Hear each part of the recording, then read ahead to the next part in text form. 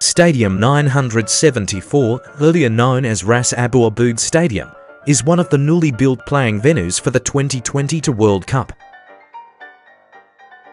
It received its name from the fact that 974 is the international calling code of Qatar and as well the stadium is made of modular building blocks, including 974 shipping containers. After the World Cup, it will be entirely dismantled and repurposed.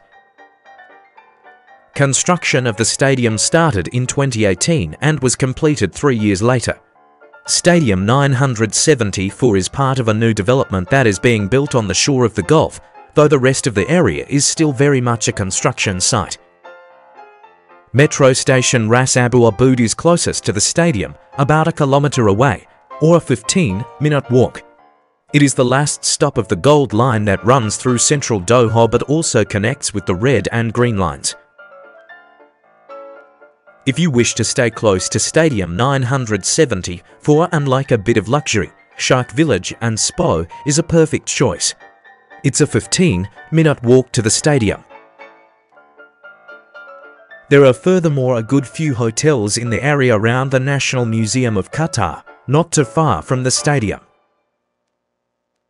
Thank you for watching. Don't forget to enjoy the World Cup football, share love and positive energy, and see you in the next video.